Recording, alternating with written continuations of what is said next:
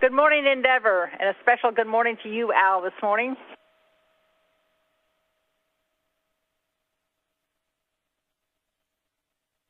Well, thank you, Shannon. Good morning. Uh, thanks also to my niece Courtney, who turns 18 tomorrow for that song, and to her mother, Karen, who uh, celebrates her birthday today. Well, and we wish them happy birthday also. And just to let you know, your execute package should be printing on board right now. We are going to go LOS at 10:31, and we'll be LOS Radicom to 10:53, so for 23 minutes. So look at your summary timeline, and when we get back with you, we will be happy to answer any questions that you might have. Outstanding, Shannon. Thanks. You're welcome.